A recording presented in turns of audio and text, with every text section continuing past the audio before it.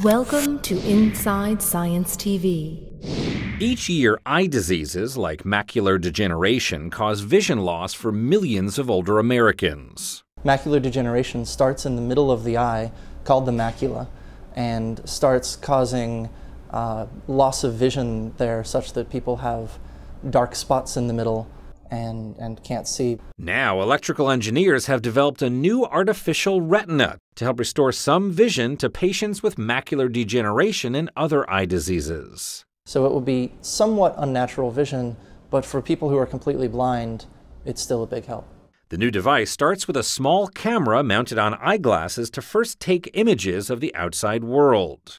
Uh, those images are then sent to an electronic implant that sits on the eye. The implant contains small electrodes that send harmless electric currents to the retina. The nerves in the retina send a signal of that image to the brain. Designing the circuits and the hardware to go into a very small package on the eye is just tremendously difficult. The prototype uses only 256 electrodes, a small fraction of the millions of retinal nerves in a normal eye, but enough to produce an artificial form of vision. People can expect to see a pixelated scoreboard style of image. Uh, they should be able to see light and dark, identify objects. Science helps to restore sight for many who are currently in the dark. I'm Josh Lebowitz reporting.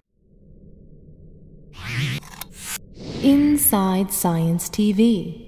If you enjoyed this edition, follow us on Facebook, Twitter, and YouTube.